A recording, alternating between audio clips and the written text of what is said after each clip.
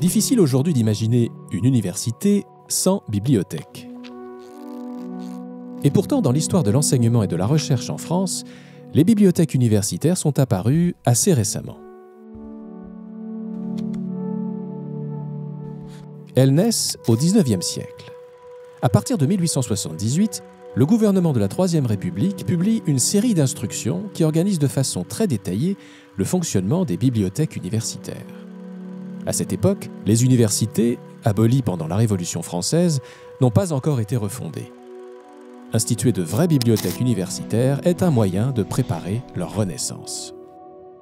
Car le but de ces instructions est de centraliser les ressources documentaires de l'enseignement supérieur dispersées entre les facultés, de les enrichir et de professionnaliser leur gestion. Bref, de leur donner les moyens d'exercer leur mission, c'est-à-dire conserver et enrichir des collections en les rendant accessibles au plus grand nombre. Au cours de leur histoire, les BU enrichiront cette mission fondamentale de nouvelles fonctions qui feront d'elles de véritables lieux de science.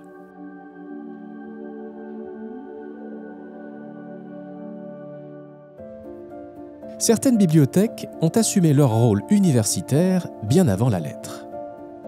C'est le cas de la bibliothèque Sainte-Geneviève. Située à Paris, face au Panthéon, aujourd'hui rattachée à Sorbonne Nouvelle, elle emprunte son nom à l'abbaye Sainte-Geneviève dont elle dépendait et qui se trouvait à l'emplacement de l'actuel lycée Henri IV. Les étudiants du quartier latin y trouvent refuge bien avant son rattachement à l'Université de Paris en 1928. Mais au XIXe siècle, la bibliothèque Sainte-Geneviève ne peut plus accueillir ses publics convenablement et ses collections, d'autant plus riches qu'elles ont échappé aux confiscations révolutionnaires, manquent de place. Alors, en juillet 1843, le Parlement vote la construction d'un nouveau bâtiment pour la bibliothèque. Le chantier est confié à l'architecte Henri Labrouste et durera plus de six ans. La nouvelle bibliothèque Sainte-Geneviève est inaugurée le 4 février 1851. Cette date marque un tournant dans l'histoire des bibliothèques. Pour la première fois en France, une bibliothèque n'est pas l'annexe d'un autre bâtiment, mais un édifice autonome et fonctionnel. De forme rectangulaire, sur deux niveaux, Sainte-Geneviève abrite des magasins en rez-de-chaussée et au premier étage, une grande salle de lecture qui peut aujourd'hui accueillir plus de 700 lecteurs. Disposition des magasins, traitement de la lumière, union du fer, de la pierre et de la fonte, l'esprit visionnaire d'Henri Labrouste fait entrer l'architecture des bibliothèques dans la modernité. Ce même édifice abrite encore aujourd'hui des collections exceptionnelles. Le noyau dur des collections euh, héritées de l'abbaye sont une collection extraordinaire de manuscrits, environ 6000 euh, manuscrits, de très nombreux incunables, environ 1600 euh, incunables, et puis environ 250 000 ouvrages rares, anciens et précieux, donc des livres imprimés, mais qui constituent le, le noyau du département de la réserve au titre des documents anciens. Et pour prendre soin de ces collections et accueillir lectrices et lecteurs, une centaine de professionnels s'activent en coulisses. Le cœur de métier, ce sont les bibliothécaires. Euh, c'est ce qu'on attend de nous choisir des documents, euh, les traiter, euh, les signaler et les mettre à disposition du public. Mais une bibliothèque, c'est euh, comme une petite cité dans la cité, je dirais. On a des ingénieurs informaticiens, on a du personnel administratif, on a des ingénieurs spécialisés dans les humanités numériques, des restaurateurs euh, d'art. Donc toute une constellation euh, de métiers euh, qui fait une richesse tout à fait extraordinaire dans notre profession. Si faire évoluer une bibliothèque interuniversitaire classée au monument historique comme Sainte-Geneviève n'est pas une chose facile, Sainte-Geneviève a su moderniser ses équipements. Une salle dédiée aux enseignants-chercheurs et une salle de périodique ont par exemple vu le jour ces dernières années, et la bibliothèque numérise ses collections pour en faciliter l'accès. Des milliers de documents sont ainsi disponibles en ligne sur sa plateforme Genovefa.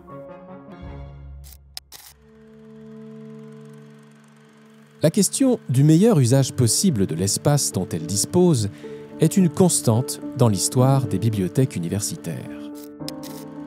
Cette question se pose de façon critique après la Deuxième Guerre mondiale avec la démocratisation de l'enseignement supérieur. En France, entre 1945 et 1970, le nombre d'étudiantes et d'étudiants passe d'environ 100 000 à 625 000. Mais les moyens et les effectifs des bibliothèques ne suivent pas du tout cette croissance exponentielle. En 1989, l'universitaire André Miquel rend un rapport alarmant sur l'état des BU françaises. Saturation complète des capacités d'accueil, fonctionnement des services de plus en plus fondés sur des expédients, horaires d'ouverture très insuffisants, le rapport Miquel appelle à un sursaut. Il viendra l'année suivante avec le schéma Université 2000 destiné à rénover les universités et à réinvestir dans leurs bibliothèques. L'une d'elles voit le jour à Montpellier, en bordure du Lèze. Cette bibliothèque, c'est la bibliothèque Richter. Ouverte en 1999, dévolue au droit et aux sciences économiques, elle comprend trois grands plateaux de 1800 mètres carrés ouverts sur un vaste atrium abritant un escalier circulaire. Ces espaces et son architecture en font un équipement documentaire moderne. Elle est moderne parce qu'elle a réussi dès la conception, au début des années 2000 où c'était largement pas répandu, à considérer des espaces différenciés au sein d'un même bâtiment. On a aujourd'hui des espaces où on peut travailler tout seul ou en groupe. On a des espaces où on peut travailler en silence et d'autres où on peut parler. On a des espaces euh, qui sont euh, ben, un peu comme l'espace où on est ici, euh, table, chaise, et puis on a des espaces où on a des canapés et des transats, que nous on peut appeler espace détente en tant que bibliothécaire, mais on voit bien que les étudiants ils y travaillent.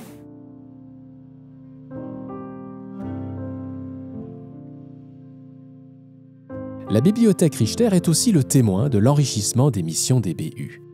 Avec le développement du numérique, elles ne sont plus seulement le lieu où chercheuses et chercheurs accèdent à des publications. Elles participent aussi pleinement à la production des connaissances. Les bibliothécaires ont vraiment développé des offres très diversifiées de services aux chercheurs qui peuvent aller euh, bah, de la fourniture des ressources en ligne et de la formation à l'usage des bases de données jusqu'au euh, bah, conseil pour rédiger un plan de gestion des données, euh, pour déposer euh, les publications, pour encourager à rentrer dans le mouvement de la science ouverte. L'évolution progressive de leur mission a peu à peu changé la place, l'image des bibliothèques universitaires et parfois même leur nom.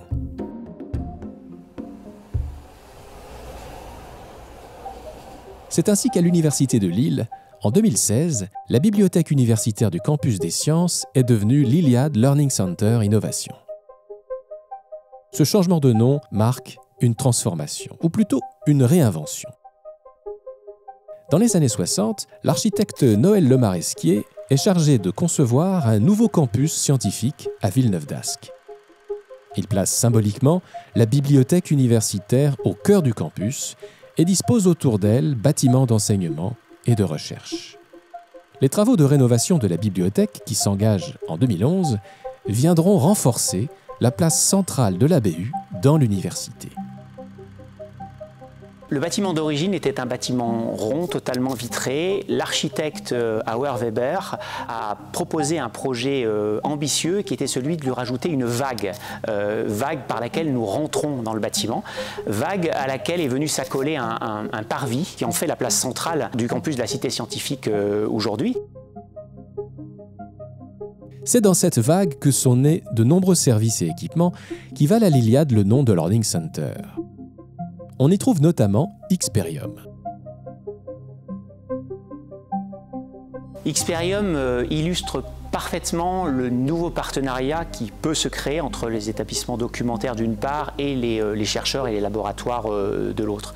Ce concept, il est né de la rencontre finalement du directeur de la bibliothèque que j'étais à l'époque et d'un chercheur en physique euh, qui avait besoin à un moment donné de valoriser les travaux de recherche qui étaient réalisés à l'époque d'un sac composante. Aujourd'hui, on est, on est beaucoup plus large. C'est cette rencontre-là qui a été à l'origine de la naissance d'Xperium, qui est un espace de valorisation de la recherche partenariale et donc qui montre, qui donne à voir la recherche qui se fait dans les laboratoires de, l'université.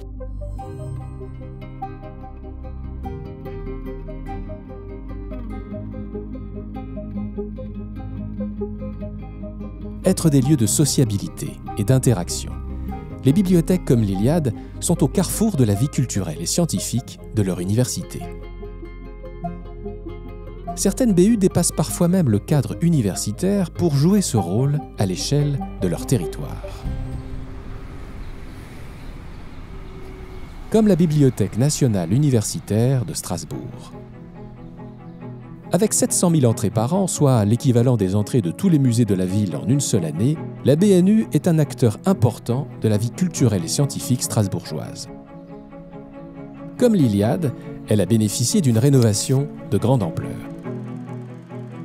Après quatre années de travaux, elle a réouvert ses portes fin 2014, offrant à ses visiteurs des salles de lecture plus grandes, plus lumineuses et des réserves plus fonctionnelles. Cette rénovation a aussi permis de mieux mettre en valeur ses collections patrimoniales. Papyrus, manuscrits médiévaux et orientaux, incunables, cartes et monnaies, ou encore tablettes cunéiformes plus d'un million et demi de documents rares, anciens ou précieux sont ainsi conservés. Cette richesse exceptionnelle trouve son origine dans un épisode marquant de l'histoire de Strasbourg. En 1870, les les deux grandes bibliothèques de Strasbourg, qui étaient abritées dans ce qu'on appelait le Temple Neuf, ont été entièrement détruites par les bombardements prussiens. C'est à la fin même de l'année 1870 qu'un grand appel à dons a été lancé par un bibliothécaire allemand. Euh, L'Alsace était devenue allemande pour euh, reconstituer une, bibliothèque, une nouvelle bibliothèque. Ça a eu un succès absolument phénoménal, hein, puisque euh, dès l'inauguration de la nouvelle bibliothèque en 1895, après la construction de, de ce bâtiment, qui a été vraiment pensé à l'origine pour être une bibliothèque, c'était déjà pratiquement un million de documents. Ces collections sont aujourd'hui une ressource précieuse pour les chercheuses et chercheurs, notamment spécialisés dans les sciences de l'Antiquité. Mais à côté de ce patrimoine physique, la BNU met à leur disposition de nombreux services et ressources numériques. Ils viennent avec leurs projets, on échange, et on les conseille sur effectivement les données, comment les exploiter, où les trouver.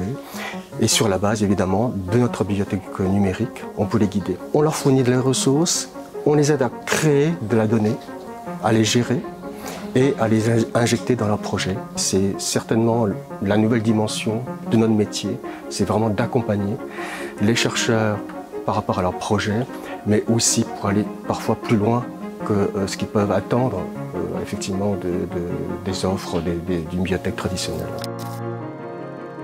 Au cours de leur histoire, les bibliothèques universitaires ont ainsi su évoluer et se réinventer. Et si bien des défis les attendent encore, ce n'est pas une de leurs moindres réussites que d'être devenues, aux yeux de la communauté scientifique elle-même, d'incontournables lieux de science.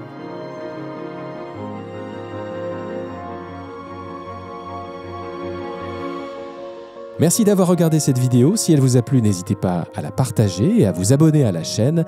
Dans le prochain épisode de Lieux de science, je vous emmène à la découverte de quelques jardins botaniques.